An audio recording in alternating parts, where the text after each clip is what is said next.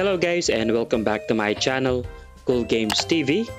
At ngayong araw ang pag-uusapan natin ay Top 5 Useful NPC Favors.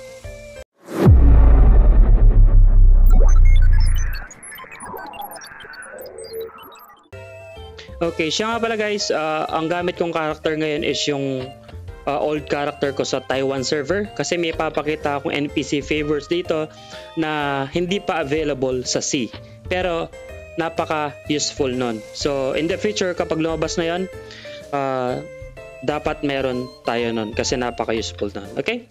So I guess uh, sa point na to, napanood nyo na yung iba't ibang NPC favors sa iba't ibang uh, mga YouTuber. So today, pag-uusapan lang natin yung top 5 na useful para sa akin. So simulan na natin sa top 5 uh, favor ko. At ang panghuli ko ay si Shuman. So dito sa Taiwan server, iba yung pangalan ng NPC na to. Pero sa si Schumann ang name ng NPC na to.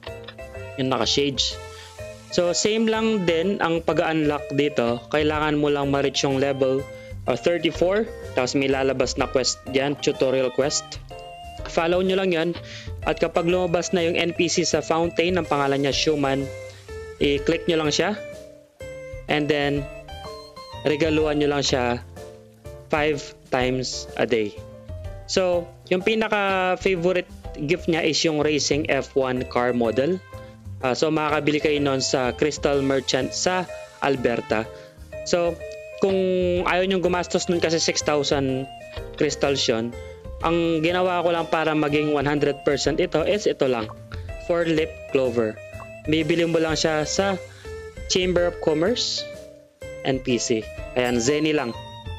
So, 5 na ganyan every day. So after 25 days, unlock mo na siya kapag 100% favor na siya, meron ka ng ganitong mount, skateboard mount.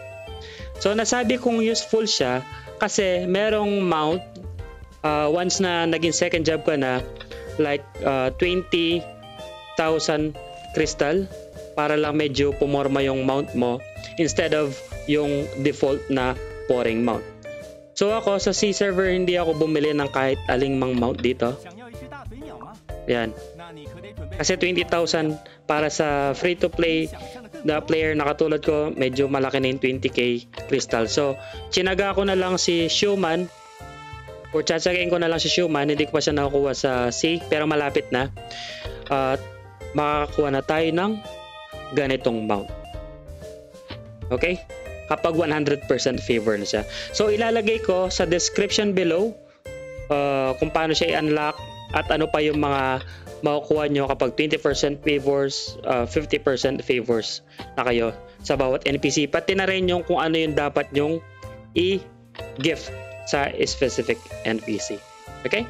So, doon na tayo sa aking top 4 favor Okay, ito na guys yung aking top 4 NPC favor. Puntahan natin siya. And itong uh, NPC favor na to, dito pa lang siya sa Taiwan server available. Pero lilitaw din to sa C server. Hindi lang natin alam kung kailan. Uh, top 4 pa lang siya sa akin para sa ngayon kasi wala pa siya sa C. Pero napaka-importante nito. Dahil favor to dito kina Holgrehen or dito sa refine inherit smelt na yan dyan. Uh, favor sa dyan. Uh, pero wala ako wala akong ganun dito dahil hindi ko siya binili. Kasi kailangan mo ng item na manggagaling kay Preone ito siya guys pero kapag wala kang ganyan or hindi ka naman nag MVP hunting pwede mo siyang bilhin sa exchange pero I guess sa uh, C server sa unang labas nito, napakamahal siguro nito. Ito, sa Taiwan mura lang siya. 266,000 crystal. Tingnan nyo to guys, oh. ito mahal to sa C. Kailangan nyo nito. Bakit? Ito importante at bakit siya nasa top 4? Kasi kapag na 100% nyo yung gift or favors nyo sa NPC na to, pag 100% favors na siya, magkakaroon kayo ng weekly quest. At yung quest na yon may uh, meron kang chance na makakuha ng refining rate, ipapataasin niya yung refine success mo. Or uh, makakuha ka ng isang quest, bibigyan ka niya ng blessing para maging safe yung refining mo, hindi siya magda-downgrade. Meron ding isang quest na kapag nag-refine ka, hindi magagamit yung mga Oridicons. So, napaka useful nitong NPC favors na to. Okay, so once again, eto siya, yung kailangan yung item na ibigay sa kanya para ma-unlock nyo yung NPC favor. And wala pa siya sa say as of the moment. Okay, so ipuput ko lang sa, talagay ko lang sa description uh, below yung additional information about dito. Okay? Punta na tayo sa aking top 3 NPC favor. Okay guys, at nandito na tayo sa aking pang top 3 which is Ariel. Ito yung uh, NPC na nag-heal sa atin kapag nag-respawn tayo sa Frontera. And para ma-unlock mo siya, kailangan mo lang tumambay sa tabi niya ng 5 minutes. Tapos lilitaw na to. At ang mga gusto niyang gift is yung mga yan. Basta may nakita kayong puso na ganyan gusto niya yan. Or kung wala kayo yan, yung mga blue gemstone, yung mga elemental uh, materials like yung mga earth elemental stone yon gusto rin niya yon kung sakaling wala kayo ng mga pinakita ko kanina. So kapag 100% na to, ang use niya is bigyan ka ng random buff. Tingnan nyo to, binigyan niya akong Vigor. So sa C Haste to. So may free akong Haste na 2%. Tapos naglala siya ng 30 minutes. Yun yung isa sa mga uh, gusto ko kay Ariel kasi uh, meron kang free random buff. Hindi lang yun yung isa lang to sa mga buff guys ha. Random to. Pwedeng uh, mamaya iba yung ibigay niya sa akin. So useful siya kung wari may KVM, PvP or magahan ka ng uh, mga MVP or mini. At least meron ka ng additional na buff. And libre lang siya. Okay? So punta na tayo sa akin top 2 NPC favor. Okay guys, so ang aking top 2 sa listahan is Tamdia. So siya yung NPC kung saan tayo kumukuha ng COC mission. Para ma-unlock mo siya, kailangan mo lang gumawa ng 10 COC uh, mission. So 100 mission value yun. Kasi one, uh, one day ng COC mission is 10 orders yon.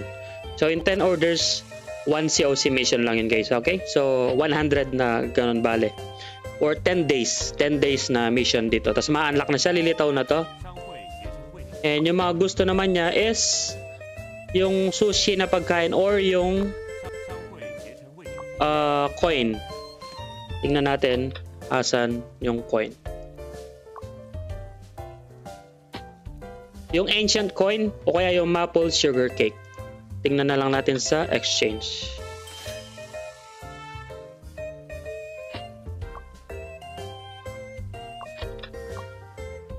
Ito.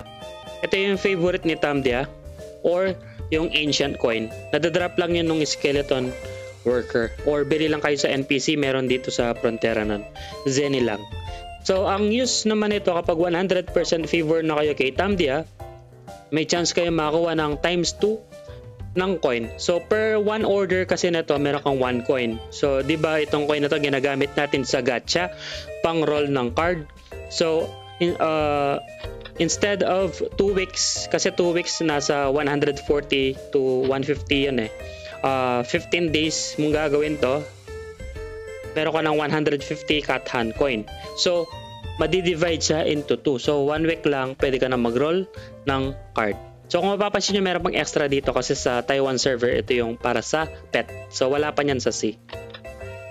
Okay, so ang use ni Tamdia once again, may chance kang makakuha ng times 2 coin kada quest. And last but not the least, yung number 1 natin is si Kafra. Kasi kailangan mo lang mag-teleport or gamitin yung teleport service niya 100 times. So, uh, day 1 pa lang pwede mo nang gawin yon. Balik-balik ka lang, teleport ka lang kahit saang town. Alberta or Frontera, Payon, Alberta, Geffen, ganun lang. 100 times lilitaw na tong GIF. Tapos, gusto niya yan yung mga lavender, dull pendant, or for lip clover. Ako ito lang ginamit ko. So, sa 20%, bibiglang, bibigyan ka na niya ng dull. Ito. Na merong teleport skill. So, kahit hindi mo siya suot guys, magagamit mo pa rin yung skill ni Kafra Dal. So, yung 20% niya, kapag 20% pa lang yung favor niya, ito, kapag 20% pa lang yan, uh, 1 hour yung cooldown nung fast warp. Pag 50% na, 30 minutes na lang. Kapag 100% na siya, 10 minutes na lang yung cooldown nung fast warp. So, paano siya gamitin? Click nyo lang yung minimap. World map. So, kung wari gusto kong pumunta sa underwater temple, ito na yung fast warp. Ang kaya ko siya naging top 1 kasi kung wari uh, MVP yung mga kasama mo nandun na sa location at maghahunt kayo ng MVP and ikaw nasa ibang map ka kakalagin mo lang and kulang sila ng isang uh, party member so kapag na-join ka instead na lumakad ka papunta rito click mo na lang to nandun ka na agad sa location, mababanatan nyo na agad yung MVP or PVP. And kapag napatay nyo na yan, after 10 minutes, meron ka na naman ulit fast warp, lipat na naman kayo sa next MVP or uh, mini boss. So, yun ang use ng fast warp. Pero ako ginagamit ko lang siya kasi tamad ako maglakad. So, nagwo-warp lang ako kahit saan map ko gustong pumunta. Okay? So, uh, kayo baka meron kayong ibang list. So baka gusto niyo i-share, share niyo lang sa comment below and sana may natutunan kayo kahit papano. And kung gusto niyo magkaroon ng idea sa iba pang mga uh, NPC favors, pwede rin kayong pumunta dun sa YouTube channel ng kaibigan ko si Cray Zop. Meron din kasi siyang ginawang NPC favor content. Okay? And if may mga questions pa kayo, uh, comment lang kayo below i-like nyo na rin yung channel natin and please subscribe to my channel and huwag nyo na rin kakalimutan pindutin yung notification bell para lagi kayong updated kada meron akong upload. Okay? And that's all for today and have a great day. Bye-bye.